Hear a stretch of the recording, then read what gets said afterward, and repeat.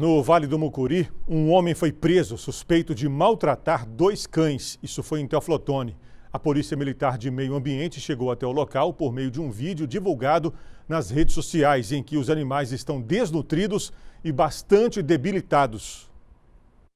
Ao tomar conhecimento sobre o vídeo, a Polícia de Meio Ambiente iniciou o levantamento sobre a suspeita de maus tratos dos cães. Circulou nas redes sociais aqui da cidade de Teoflotone um vídeo em que aparecia dois cães né, em situação de maus tratos, apresentando extrema magreza e acorrentados, motivo pelo qual a Polícia Militar imediatamente deslocou uma equipe até o bairro Vila Pedrosa, na cidade de Teoflotone, a fim de verificar essa situação. A Polícia Militar de Meio Ambiente foi à casa do suspeito no bairro Vila Pedrosa, em Teoflotone, e encontrou os animais que estavam acorrentados.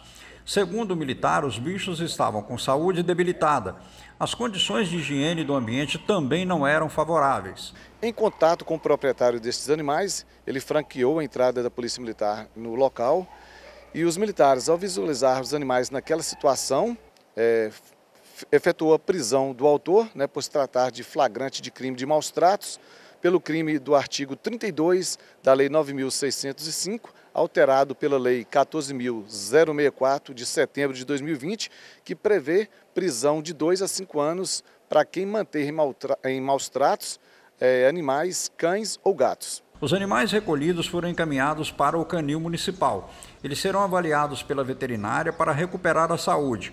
O suspeito não quis gravar entrevista na delegacia. A punição a quem pratica maus tratos aos animais está prevista em duas condições. Primeiro, uma multa que varia de 1 a 40 salários mínimos mais reclusão.